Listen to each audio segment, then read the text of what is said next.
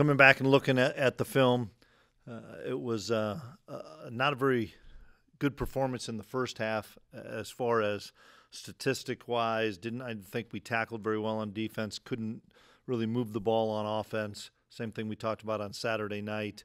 Um, but we were able to get turnovers, um, get the touchdown uh, on the interception from Siegel, get the explosive play from Avery to J Jack, and that gave us some life. And then two two plays really, in my opinion, helped um, solidify or give us the chance to to be successful. One is obviously the fourth down stop um, that we had at the end of the first half.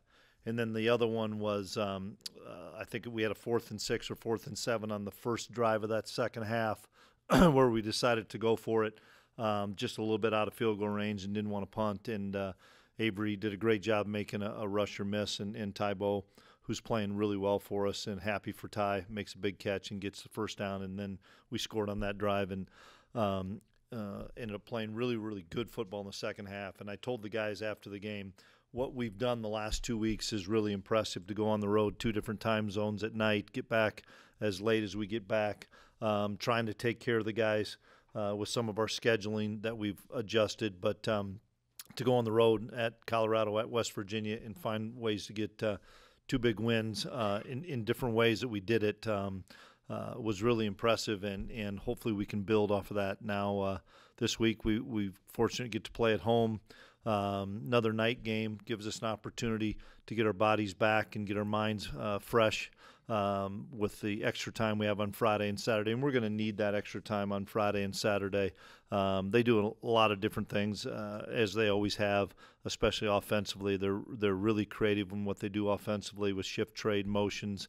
Um, they've got a lot of talented guys on both sides of the ball, and so we've got to come up with really good plans and then spend some time and, and execute it. And make sure that uh, uh, we know our assignments and, and can play fast typical two and five team. What's the trick to get your guys to buy into that? Well, I think it's because it's KU K State. I mean, I I know that we didn't have a, as much life as I wanted us to have or energy when we got off the off the bus uh, at, at, West Virginia. and We found a way.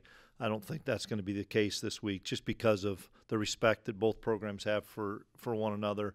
Um, there's almost all the same players that were up 11 on us in the fourth quarter at their place last year. There's uh, you know, the, the plus you add the quarterback that they didn't have last year, um, and, and, so uh, they have obviously our full attention of our players and, and coaches because it's a, a bunch of veteran guys on both sides of the ball that. Um, um, you know, they two and five is not indicative. I mean, they're ahead in all five of those losses and have a chance to win all five of those games. Well, Willis will be back full go um, today at practice, which is good. Um, Hadley, we're still trying to decide where he's at um, and uh, the severity of his injury.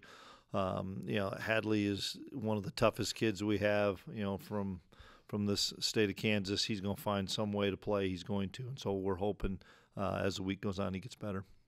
Just how good is Austin Romaine right now, and how, what does he mean to your run defense?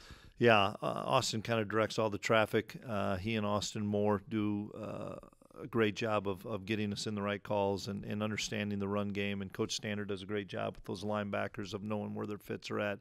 But you still got to make tackles and make plays. And and uh, we've been saying one of the unsung heroes of our defense right now is Austin Romaine. Chris, what did you like most about what your defensive secondary gave you with not just limiting their yards but creating big plays? Um, you know, we, we did a, a combination of playing man and zone, and we've been mostly a man team, and we kind of switched it up and played a little bit more zone because um, we're going to need to have both moving forward.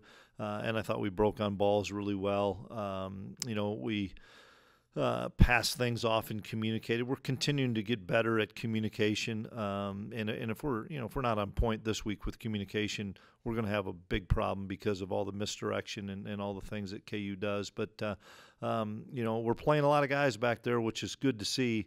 Um, the main guys are, are playing most of the snaps, but we're getting really good mileage out of a lot of uh, guys that are depth guys that, that have earned the right to play.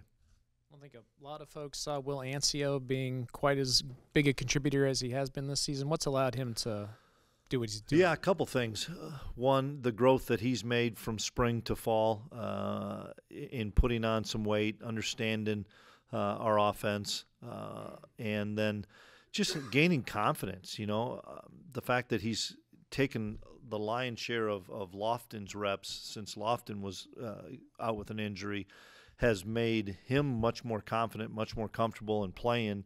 And I know that Avery feels comfortable with him, and, and he's doing it on both ends, meaning he's doing it as a run blocker and doing it in the pass in the pass game as well. So um, we're really pleased with Will, and I know that he's got a lot of confidence you lost you lose a guy like Cooper and some other players who really lived to win this rivalry and were very vocal about what it meant to him.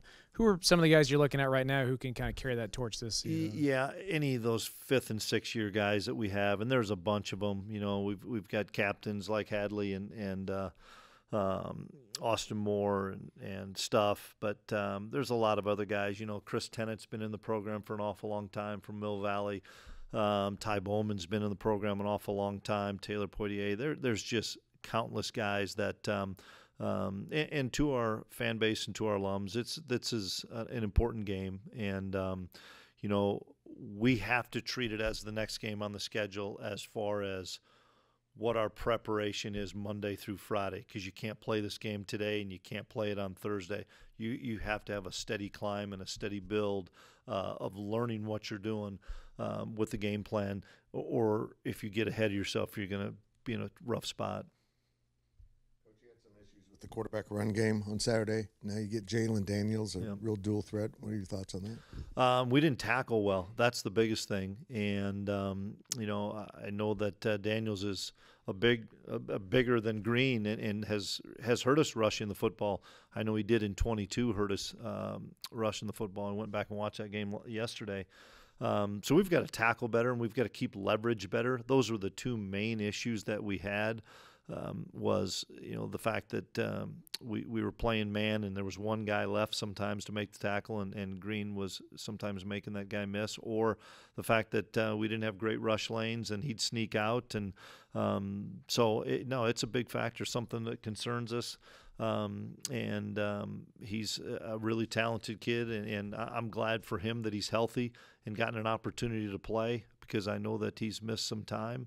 Um, terrific talent, and, and obviously a real big leader on their team. Kansas has some fairly elite players on the back end of that defense. What concerns you the most? What do they do well?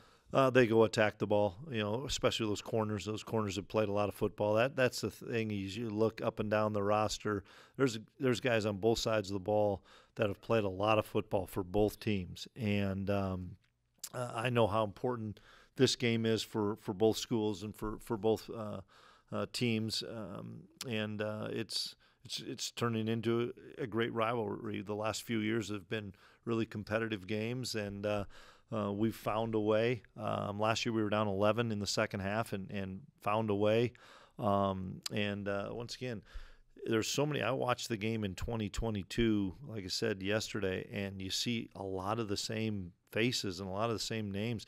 And the positive thing is you see a lot of the same guys for us too. And, and so uh, both veteran group of guys, you can throw the records out. You can do all. It doesn't matter what anybody's done last week, a month ago, a year ago man, it's going to be a great football game Saturday night. So I take it from that you're not going to spend a lot of time talking about you've won 15 in a row in this. No, I never have and never will. Coach, just to go back really quick, I, I counted up. I think it's roughly 3,000 miles round trip over a span of seven days, three different time zones between Boulder, Manhattan, and Morgantown. Um, do you feel a sense of normalcy now that you're back here, or is it just taking some time? It, it will take a little bit of time. I mean, look at how tired Lackey is, and he and he hasn't even pl- he hasn't even played. Um, but um, it, it, just takes a lot out of you as players, as as as coaches, and um, you know. It's probably the benefit of us playing at night. We're going to be able to utilize that time um, and, and adjust the schedule a little bit so that the guys can get a little bit of sleep because uh, you know, ultimately nobody's going to feel sorry for you, and ultimately, come Saturday, you've got to be ready to go. But it's our job as coaches, as support staff, um, to construct a schedule and get a plan so that our guys can be as fresh as they can be on Saturday, but be mentally and physically prepared as well. You guys are obviously six and one. have everything still in front of you. How does that feel? Um, you know, uh, fortunate and uh, proud of the guys for accomplishing what we've done uh, in in four conference games, three in the road and three at night, and and uh, that's difficult. Um, and then uh, you know we finally get a home game, which is exciting for our fan base, exciting for our players and families that are going to be able to come to the game. But uh, you know, we, as True says, we really haven't done anything yet. You know, we, we really haven't done anything yet. There's teams above us uh, in the in the standings. There's teams that are even with us or below us that can catch us quickly. You cannot get ahead of yourself in, in this league. And now, when you expand it to the amount of teams that we have, and you don't play a lot of those teams, the only thing you can control is yourself, and that's what we have to do each day. That said, what do you feel like is the identity of this team right now? Um, you know, it's uh, it's a it's a toughness, it's a it's a togetherness, it's uh, a bunch of guys that that play for K State, play for the name on the front of the jersey, bunch of guys that have held each other accountable, um, and it's been a different guy all the time, or a different group of guys that have helped us win or help us be successful um, you know, guys like Simon, you know, Simon McClanahan's done a great job kicking off and punting for us, gotten better and better. Ty Bowman getting an expanded role. Jack Fabris, um, Jordan Allen on kickoff being a factor. I mean, there's so many guys that uh, that's what's fun is everybody's writing everybody's writing their own story to collectively make us a, a good football team right now. Uh, but we got a long ways to go. After the game, that the game plan was to, to throw the ball, but any concerns also with with Avery obviously coming off that injury? Were you being a little cautious? Um, honestly, no. Um, we really weren't. Um, we wanted to try to establish DJ, and they basically were not going to allow us to do that. And so we had had a really good plan to say if this is the way it goes, um, we're going to utilize the guys that we have, the guys that we know are really good football players at wide receiver and tight end, and even our backs coming out of the backfield. And um, like I said, the, the, the maturation of, of, Avery as a as a quarterback and and um, throwing the football and understanding and seeing defenses pre and post snap has. Uh, he's come a long ways and he, and he feels a lot of confidence uh, with what we're doing. And so that was ended up being the plan of okay, now first down, now second down, didn't matter. We're gonna we're gonna spin it around, and uh, he felt really confident. We talked about it on Saturday night. He was really calm, and our guys made plays for him. Kansas has a few really talented running backs that they sort of rely a lot on on offense. Well, uh, because they can do everything, meaning uh, you can't just say we're going to try to stop the running backs because if you do, quarterback will pull the ball and beat you, or they'll run option and beat you, as well as you can't commit everybody up there because they're talented enough with their wide receivers, tight ends, uh, and quarterback to throw the football. So we have to do a great job of of mixing our coverages, mixing our pressures, mis- mixing some of our base defense. Um, you, are not going to stop these guys. They're they're too good.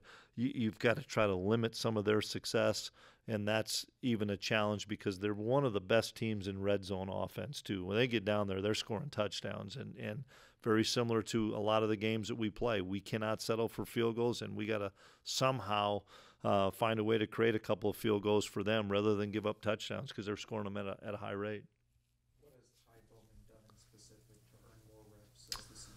Um, consistency. That's the biggest thing. Is just Ty's been so consistent route running, consistent as a leader. Um, you know, consistent as far as knowing where he's going to be, and Avery knows where he's going to be, uh, and he's a big target. That uh, I, am so happy for Ty that you know he's coming into his last year and, and one of the best special teams guys K State has ever seen. Period. One of the best ones that I've had in the six years that I've been here, and we've had some dynamite ones. But uh, uh, as far as a four core guy, as well as now getting an opportunity to not just contribute but have an impact uh, on what we're doing offensively. Uh, I, I, know that everybody uh, on that football team is excited for what uh, what Ty has been able to do because he's earned it.